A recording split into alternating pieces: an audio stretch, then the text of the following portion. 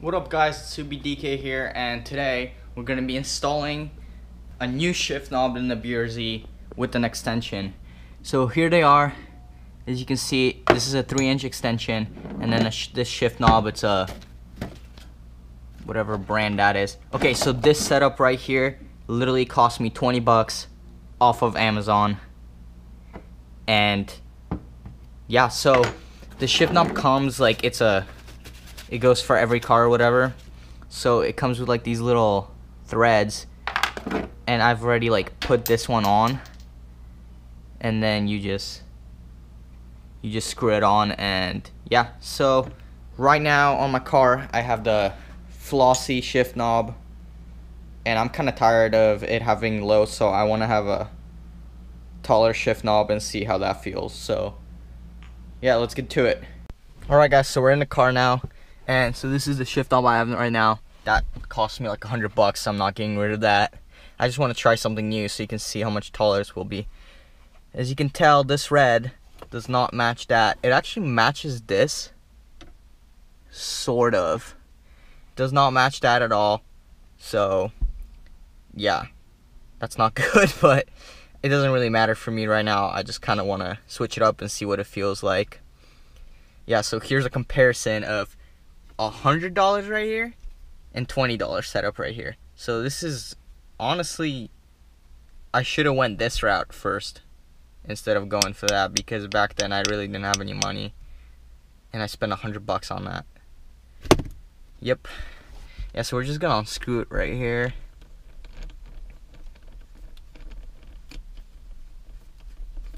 Jesus. As you can tell, this one's so much heavier than the other one. So we'll see how that feels. I'm not gonna undo the nut.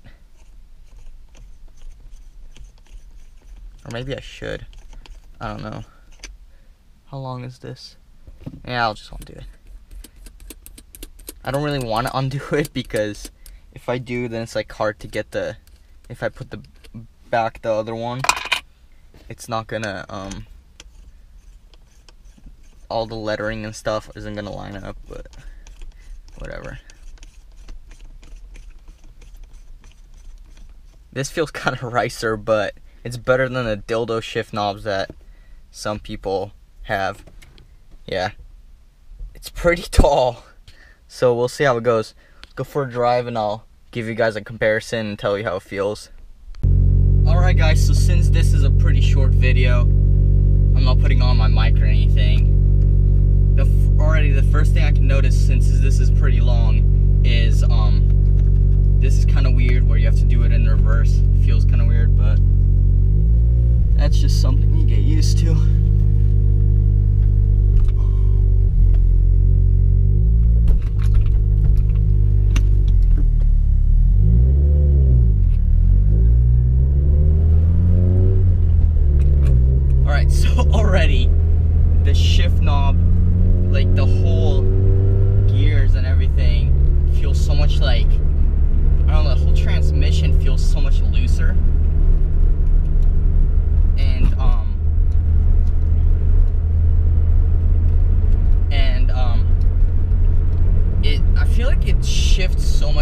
Easier though.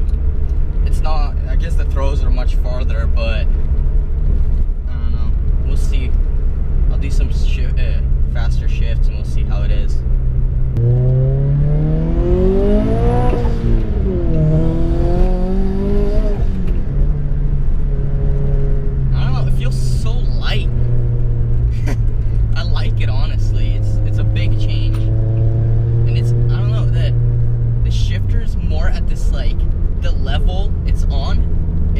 perfect. Like it's like if you're, I guess if you're like on a track and it's like straight with you. If you have like, because I get some people lean. I usually have it.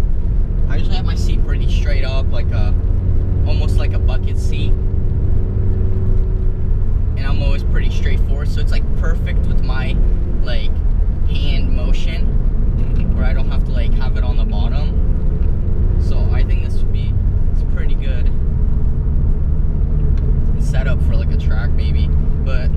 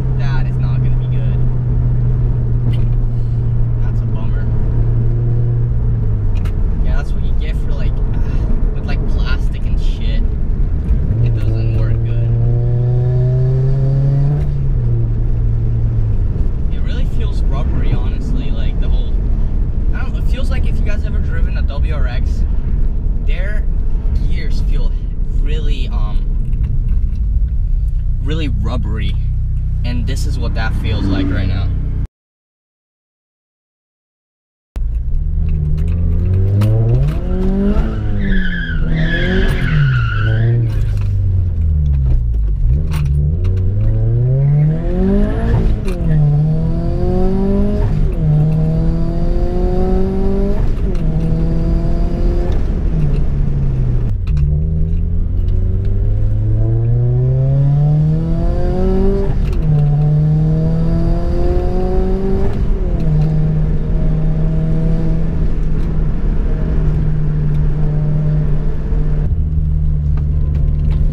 so far feels pretty good. Honestly, I don't know. You can't throw the shifts hard because it's like really rubbery feeling, but you can. You can. It's pretty good. I don't like how it's visible right here. Nothing like you wouldn't probably want to run this setup at like a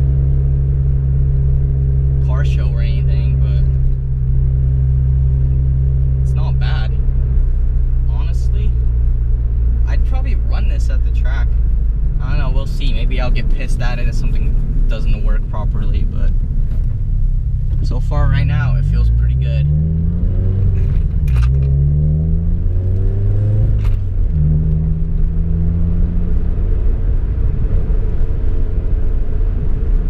I do like the other shifter too, though.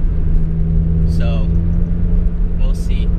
This is only 20 bucks. It's not like if I don't like it and I put it on the side, it's not like I'm gonna cry about it. So this this would actually look this would be pretty good too with this if it matched at least without the like extension. But